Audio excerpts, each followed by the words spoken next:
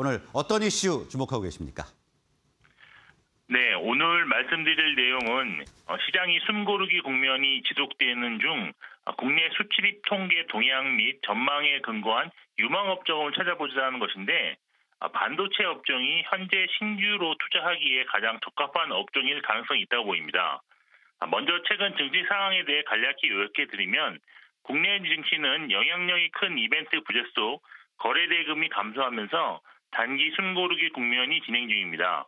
현재 투자자들이 참고할 수 있는 재료 중에 가장 영향력 있다고 판단되는 어, 원달러 환율의 경우 매파적 FOMC 연설 이후 다시 1,300원대로 반등한 상황이고 외국인 수급도 매수 일변도에서 현재는 특정한 방향성을 가지지 않는 모습을 어, 보이고 있다고 보입니다.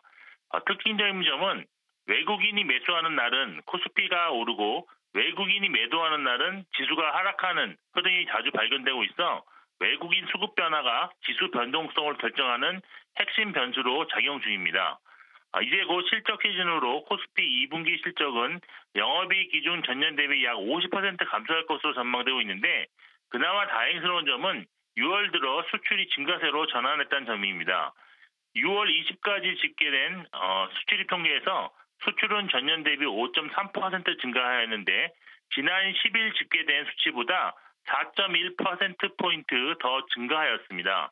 여기에 한국 수출의 핵심적 역할을 하는 반도체의 경우 수출이 23.5% 감소한 것으로 나타났는데 이 수치 역시 지난 10일 집계된 31.1% 감소해서 감소폭이 대폭 축소된 것입니다.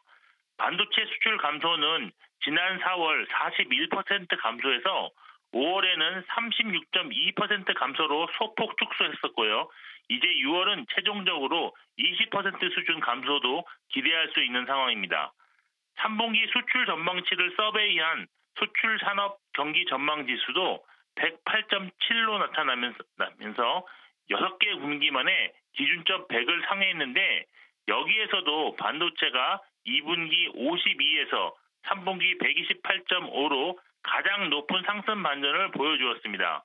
3분기 코스피 실적 전망치도 2.4% 상승 반전을 추정하는 것과 수출 증가 역시 맥을 같이 하고 있다고 보입니다. 2분기보다 3분기 수출이 더 증가할 것으로 기대되는 대표적인 업종은 반도체, 선박, 화학공업 제품, 자동차 및 자동차 부품으로서 그중 자동차, 자동차 부품은 수출 증가는 전망되지만 증가율은 한 자리대로 낮아질 전망이라는 점도 참고할 필요가 있을 것 같습니다. 네, 증시가 숨고르기 양상을 보이는 가운데 수출 유망 업종 주목할 필요가 있다 이렇게 말씀 주셨고요. 아, 관련해서 종목도 좀 알아볼까요? 네, 수출 관련 관심 종목은 삼성전자입니다. 어, 삼성전자는 최근 좋은 재료들이 많이 나오고 있는데 어, 실적 측면에서 본다면 2분기 실적이 기존 예상치보다 더 좋을 가능성이 있어 보입니다.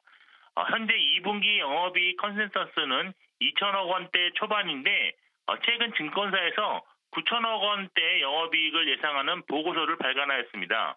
어, 실적이 예상보다 좋아지는 근거로는 디램 출하량이 전망치를 넘어섰고 재고 감소도 시작되었다는 것입니다. 아, 그리고 반도체 기업들 주가에 영향을 주는 미국 마이크론이 28일 3분기 실적을 발표하는데요. 전분기 대비 개선된 적자폭 축소를 발표할 예정으로 보이고서 실적이 회복세로 진입시켰음을 확인시켜 줄 것으로 예상되고 있습니다. 아, 또한 중국의 마이크론 제재에 따른 단기적 수혜도 예상되는데요. 중국 기업들이 마이크론이 생산한 메모리를 대신할 제품으로 중국 현지 기업 또는 한국 반도체 업체를 선택하려는 움직임이 파악되고 있는 중입니다. 여기에 더해 어, SK 하이닉스 대비 주가 약세 요인이었던 HBM3 생산과 관련해 4분기부터 북미양 HBM3 공급 시작이 본격화될 것으로 예상되는데 올해는 전체 디램 매출 비중의 6%에서 시작해 내년에는 18%로 확대되면서 수익성 개선에 도움을 줄 것으로 전망되고 있습니다.